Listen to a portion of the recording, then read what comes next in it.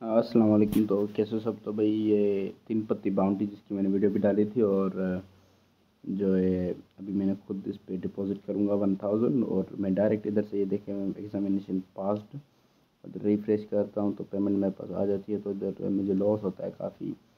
اس کے بعد ففٹی کی بیٹ میں نے گاڈ آف فارچون میں کنٹینیو رکھتا ہوں اور ویڈیو کافی بڑی تھی، بائیس منٹ میں گیم کھیلی تھی۔ تو اسی وجہ سے پوری تو پرو نہیں کر سکتا تو میں نے کٹ کر دی پارٹس میں۔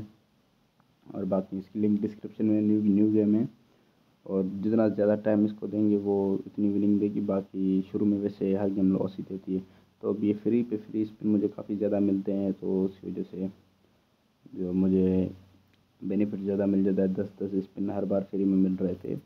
بٹ وننگ نہیں ملتی تھی بگ ون کے ویٹ میں تھا تو وہ تو مجھے نہیں ملتا. باقی ویسے وہ ہم بگ ون ملتا ہے سوری بیگ ون ایک لگتا ہے دو بار سو کی بیٹ ہوتی ہے تو ایٹ سے ملٹی پلائی ہوتا ہے تو وہ ادھر بیگ ون لگتا ہے باقی اگر وہ سکسٹین سے ہو جاتا تو اچھی بات ہوتی ہے تو یہاں پہ میں نے ویڈیو کو اور کٹ کر دیا تھا اور ابھی ایک ہزار میرا بیلنس تھا اور ففٹی کی بیٹ میں نے پھر سے کنٹینیو رکھی ابھی ہنڈریڈ کی کر دیتا ہوں میں رسک زیادہ لیتا ہوں تو ون فورٹی ملا میں ہنڈریڈ کی بیٹ کے ساتھ ہی مطلب کہ جاؤں گا یہاں پہ آٹھ سو کا مجھے ادھر لگا تھا تو کے بعد بھی پھر میں نے دو سو چالیس ادھر مجھے ملے۔